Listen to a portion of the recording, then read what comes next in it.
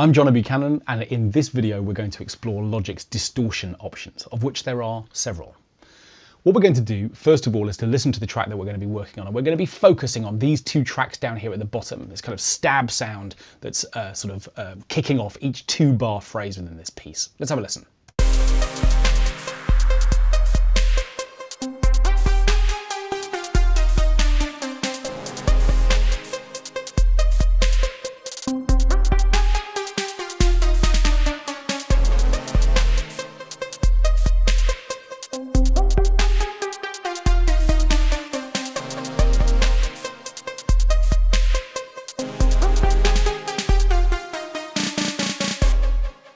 Okay, so we've got this sort of big, powerful sound, but it's not actually as powerful as it might be. It might be interesting to add some distortion to it um, to make it happen. Now here I am talking about it as one thing, but actually this part is made up of two separate bits. And what I'd really like to do is to apply a distortion to both of them, treating them as one sound, gluing them together in the mix a little bit. So firstly, what I want to do is to find a way where I can see them as kind of one thing rather than as two. And the easiest and fastest and best way to do that in Logic is to put them together in a track stack. That allows me to take both of these sounds, assign them to an auxiliary where any effects that I add to that auxiliary will affect both sounds within the stack. So I've selected them both here. What I'm then going to do is to press Control, click on either of them and select Create Track Stack. What Logic will do is automatically set up a new auxiliary for me. And of the two options that are available to me here, I want to select the summing stack option, which allows me to add effects, auxiliaries, uh, I send the sound onto other auxiliaries and have a volume fader and a pan dial and a full set of controls for this stack that's going to be created. So when I press the create button, automatically Logic will create this new auxiliary bus for me and these two sounds are now being routed into it. So let's call this stab. I'm going to just solo it so we can hear the sound by itself. So both of these sounds are now being routed in. And as you can hear, they've got some reverb and some delay, but it would be quite nice to just have some extra power in the sound as well. Now here what I'm going to do is to come to the first insert slot for this bus. Remember, any effects I set up will now affect both of these sounds because they're both appearing within this stack. And Logic's got a dedicated distortion folder here which contains a few options. The first one of these is the Bit Crusher. Now this is effectively a sort of early digital distortion, like the SID chip. So what we've got here is an opportunity to change resolution down to 8-bit, which is in fact the sort of default resolution within here, which is just going to change the kind of clarity of the audio picture here. It's going to rough it up a bit and make it sound a bit aliasy and uh, kind of interesting. And the downsampling control is also really important here. You'll see as I move that, that the picture, the sort of audio resolution is graining up a little bit further. So let's just explore these two options, resolution and downsampling, to hear how they work.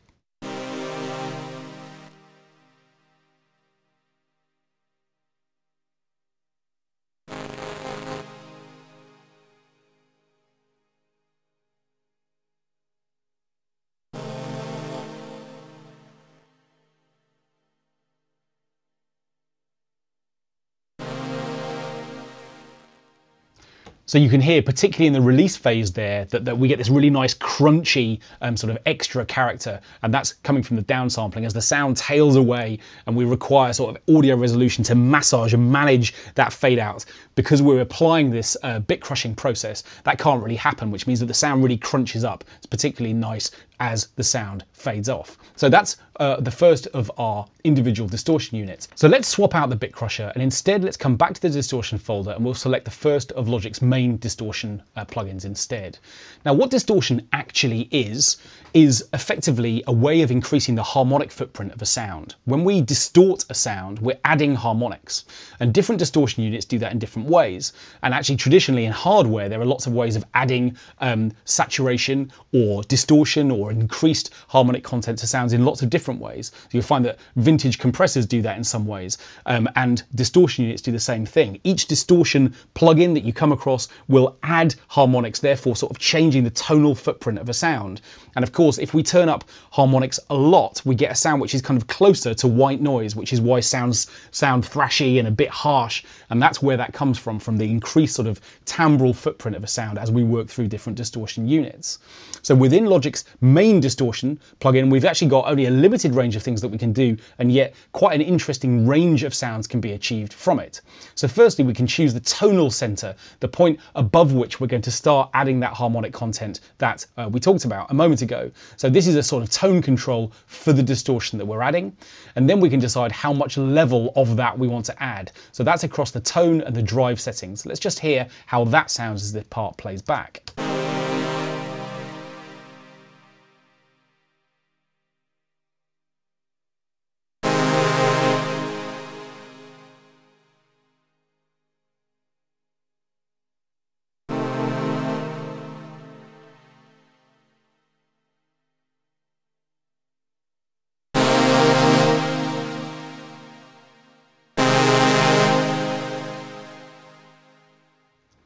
So you can hear that we get a real range of flavors there depending on where we set tone, whether we want sort of bright distortion and how hard we push that with the drive control.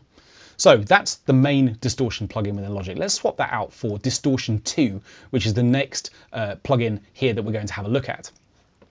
Now what this one does is to allow us to change the sort of character of the type of distortion that we're adding. We've got uh, a few options here. We've got nasty, which is the default one. We've got bitty, which is a bit more like a bit crusher. It just makes things a bit rougher in a slightly more digital way. And then we've got growly distortion too, hence the different names that are available to us.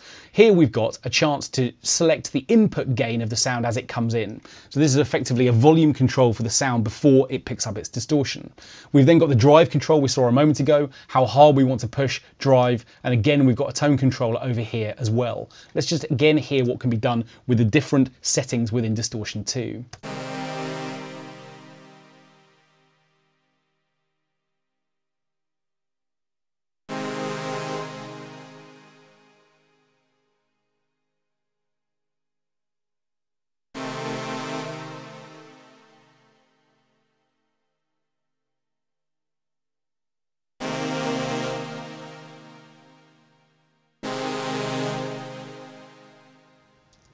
So this is a slightly subtler effect, but what we're getting is something which is closer to sort of tape saturation rather than a really strong, sort of more almost guitar associated distortion that we're sort of used to with electric guitars. Here we're getting something which is a sort of more coloring sort of tool. It's a sort of subtler way to go, but we're still getting all the sort of extra fizz that we wouldn't necessarily get with a smaller harmonic footprint that's just coming from the two sounds that we're routing through to this group.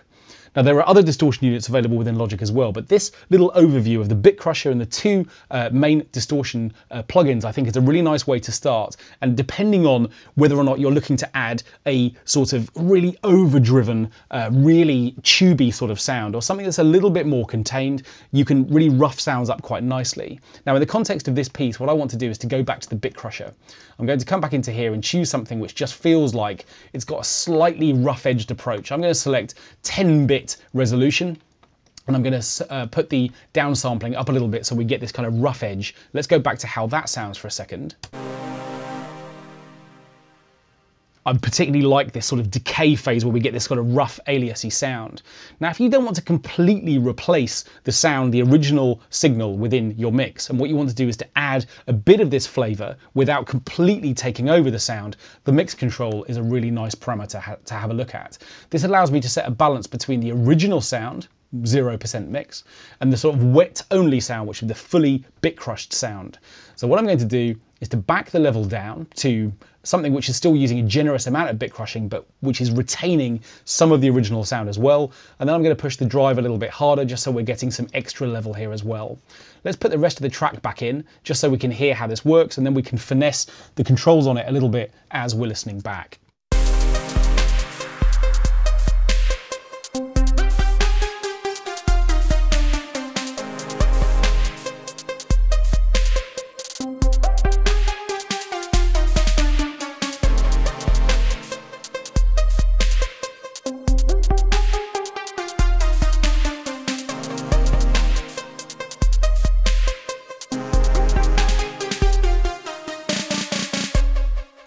Okay, I like that. That's roughing up the sound a whole lot more than we had before. We've kind of lost the squeaky clean nature of those synths. And we've got something which is just a little bit dirtier now. Now again, of course, we've got volume control. We can bed that in or turn it up and make that sound be as expressive as we need it to be within the mix.